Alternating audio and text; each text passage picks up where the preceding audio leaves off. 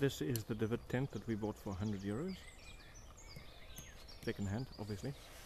It takes half an hour to pitch.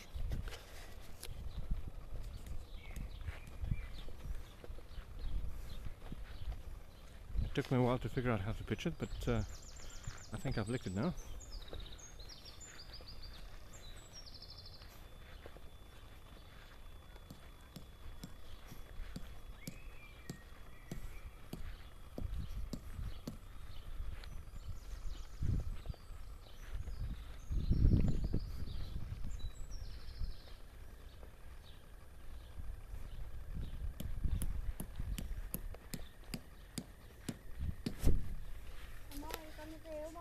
It's tall enough for me to stand in, which is nice.